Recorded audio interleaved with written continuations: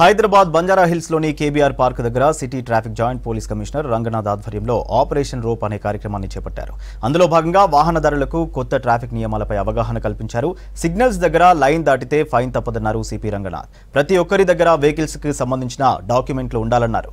Next రెండు మూడు నెలల్లో మీరు చూస్తారు డెఫినెట్గా ట్రాఫిక్ అనేది చాలా మార్పులును బెటర్గా ఉంటాం అనేది మీరు తప్పు పార్కింగ్ కూడా మనం ఎక్కడైనా కానీ కూడా కంజెస్టెడ్ ఏరియాలో పార్కింగ్ చేయడానికి లేదు. ఈవెన్ కేబీఆర్ పార్క్లో కూడా ఇక్కడ కంప్లైంట్స్ వచ్చాయి. ఏంటంటే క్యాన్సర్ హాస్పిటల్ నుంచి వచ్చేటప్పుడు కేబీఆర్ పార్క్ ఫ్రీ లెఫ్ట్ దగ్గరకు వచ్చినప్పుడు అక్కడికి వచ్చినప్పుడు ఆ- ముందు అక్కడ రోడ్ నేరోగా ఉన్న చోట కూడా పార్కింగ్ చేస్తున్నారని వాళ్ళు మార్నింగ్ టైంలో పర్వాలేదు బట్ ఎయిట్ తర్వాత ట్రాఫిక్ అనేది స్టార్ట్ అవుతుంది. ఆ తర్వాత పార్కింగ్ చేస్తే కనుక డెఫినెట్గా వాళ్ళకి అబ్స్ట్రక్టివ్ పార్కింగ్ కింద వాళ్ళకి ఫైన్లు వేయడం కూడా జరుగుతుంది. కూడా మేము కంజెస్టెడ్ ఏరియా అన్ని చోట్ల కూడా మనం అది తీసుకోవటం కాదు. ఎక్కడెక్కడ కంజెస్టెడ్ ఉందో అది తీసుకుంటున్నాం.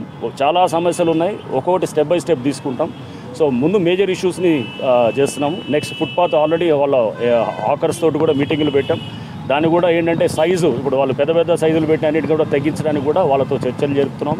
వాళ్ళని కూడా అంటే ఇట్స్ విన్ విన్ సిచ్యువేషన్ ఉండాలి. వాళ్ళని కూడా రోడ్డును పడేయాలనేది కాదు. ఒక రెడ్ తిరిగి మళ్ళీ పూర్తిగా రెడ్ వచ్చేదాకా దాని సైకిల్ టైం అంటారు ఆ సైకిల్ టైంని కూడా మేము స్టడీ చేస్తున్నాం పెంచుతాం. పెంచి తద్వారా ఏంటంటే పబ్లిక్కి ఇది అంటే సిగ్నల్ పడుతుంది అనే దాంట్లో ఆతృతలో వాళ్ళు వైలేషన్స్ చేయకుండా దాన్ని కూడా